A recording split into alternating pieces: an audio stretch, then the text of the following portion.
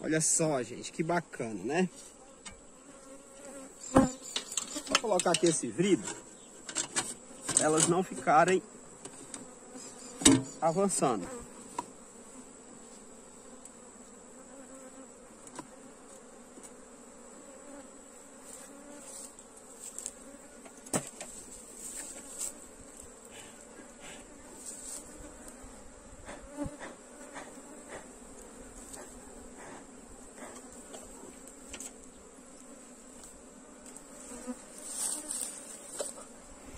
Olha só, amigo, que bacana. Antes de eu recolher isso aqui, conversar um pouco aqui com você sobre essa questão de estar utilizando aqui essa laranja, estar tá realizando esse procedimento.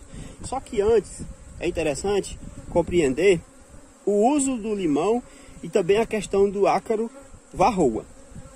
Porque esse procedimento aqui é muito semelhante. E assim, gente, o limão, de modo geral, ele é muito utilizado principalmente para elaboração do xarope. Isso porque o limão ele melhora a qualidade nutricional do xarope, ele é rico em vitamina C, minerais como cálcio, ferro, fósforo, cobre e manganês. O limão também ele melhora a digestão do xarope pelas abelhas, prolonga o início da fermentação do xarope e tudo isso são características muito desejadas quando utilizamos o limão no xarope. Só que o limão também ele é muito utilizado para o controle do ácaro varroa. O ácaro varroa é um gênero de ácaro ectoparasitas que infestam diversas espécies de abelhas do gênero Apis. Só que no caso do ácaro, ele é sensível ao ácido cítrico. E o ácido cítrico é um dos constituintes de frutas cítricas, como o limão, podendo representar até 7%. Existem outros tratamentos que são ideais para isso e que podem também ser utilizados, só que aqui eu apresento para vocês um tratamento natural, tá? E aí é nesse contexto que entra a laranja, porque a laranja também é muito rica em ácido cítrico, só um pouco abaixo do limão. Ela também é muito rica em vitamina C, também possui outras propriedades nutricionais como potássio, fósforo, cálcio, ácido fólico, ferro, fibras, betas-caroteno e flavonoides. E todos esses componentes são muito bons para as abelhas, principalmente quando você utiliza no xarope. Já para o que queremos aqui, a questão do ácido cítrico, ela também é muito importante. Você só tem que ver se vale a pena usar a laranja, porque ela tem uma concentração menor de ácido cítrico comparado com o limão, além do preço. Logo, tem que ser usado pelo menos o dobro, ficando bem mais caro. O ideal é que você tenha um pé de laranja em casa, logo fica muito vantajoso você usar a laranja, claro, caso não tenha o pé de limão. Agora eu vou abrir aqui a colmeia e vou fazer a coleta dessas cascas e depois vou explicar para que elas vão servir. Se eu quisesse elas mais propolizadas, eu teria que esperar um pouco mais. Principalmente nesse período em que elas não estão propolizando tanto. Porque tá chegando o período de escassez aqui. Mas está bem interessante. Olha só, elas aí em cima.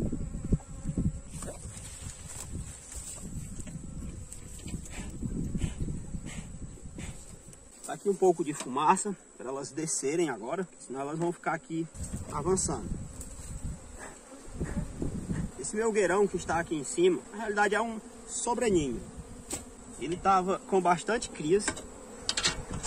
Agora vamos ver se elas estocaram mel aqui. Aproveitar para ver isso também.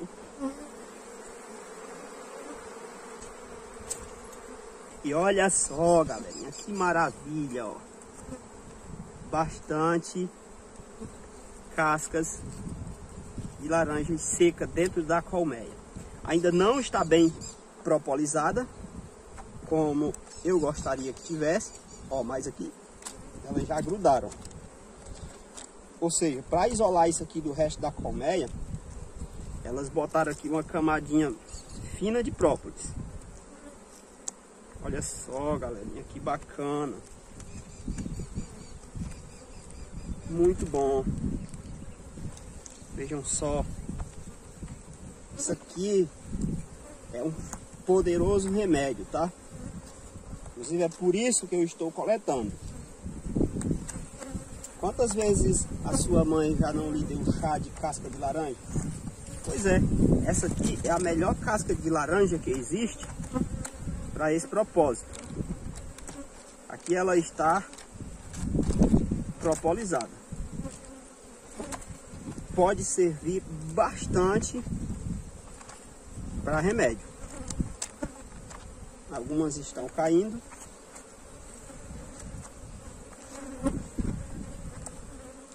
Veja só, galera. Olha só. Aqui, ó.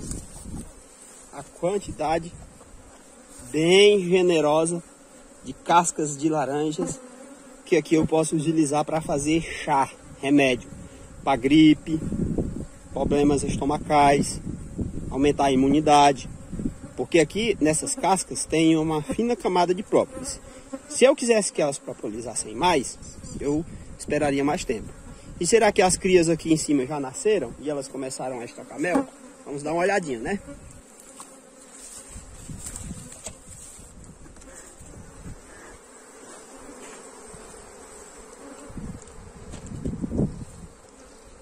começar aqui pelo quadro lateral.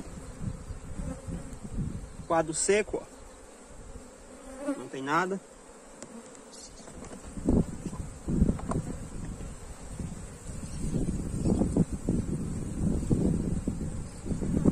O quadro aqui tem um pouquinho, muito pouco, mas tem.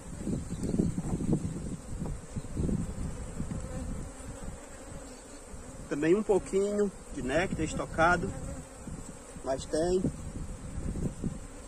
uma falsa realeira.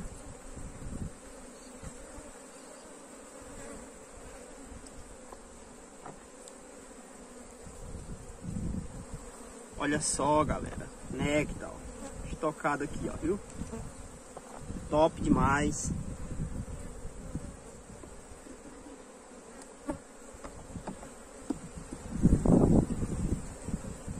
esse quadro aqui, um quadro seco, que eu acho que ele não vai mais ser trabalhado, vou deixar logo ele fora.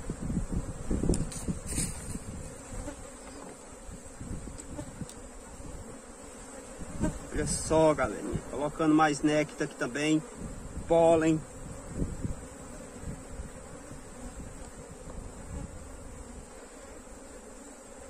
Olha só, galerinha. Que quadro maravilhoso. Isso tudo é mel. Tudo é mel. Elas estocaram.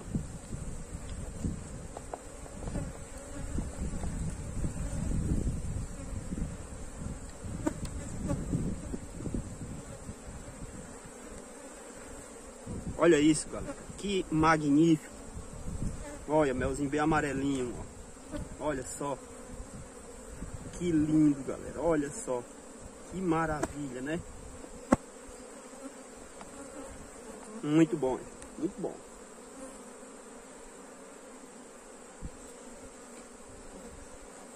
Vamos continuar aqui, ver se tem mais mel estocado. Continuam estocando, ó, gente. Que magnífico, né? As crias nasceram e elas estocaram o néctar que ainda estão encontrando na natureza. Olha só, galera, que lindo. Muito pólen, estão guardando muito pólen. Isso é bom, né? Pão de abelha, no caso. Agora vamos colocar de volta. Para você ver como esse procedimento é muito eficiente. Vale muito a pena você estar fazendo. É simplesmente fantástico você ver um resultado desse aqui bastante alimento estocado em cima, aonde tinha crias. Sempre que você vê o enxame fraco ali querendo desenvolver e não vai para frente, pode ser que esse seja um dos motivos. E aí talvez seja interessante você estar fazendo a cura do acre. Lembrando que aqui é uma solução, uma alternativa de tratamento natural. Existe várias outras alternativas, inclusive químicas, que no caso, quando está em produção ou tem melgueira em cima, nesse caso aqui, também não poderia utilizar porque correria o risco de contaminar o mel. E só, manejo concluído. Eu espero que você tenha gostado. pode aplicar nas suas colmeias, recomendo. Vai servir bastante para o controle do ácaro. E a vantagem desse tipo de tratamento é que ele é de liberação lenta. Vai passar mais de 24 horas fazendo efeito. Enquanto a casca não seca e elas não propolizam, vai sendo liberado ácido cítrico e é isso que queremos, porque é o ácido cítrico que vai ter ação sobre o ácaro. Fechar a colmeia.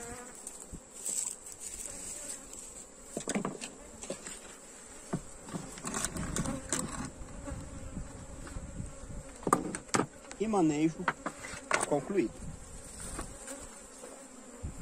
Só não vai esquecer de fazer sua inscrição no canal. Se gostou, curte o vídeo. Dúvidas e sugestões você pode deixar nos comentários. Um grande abraço e até o próximo.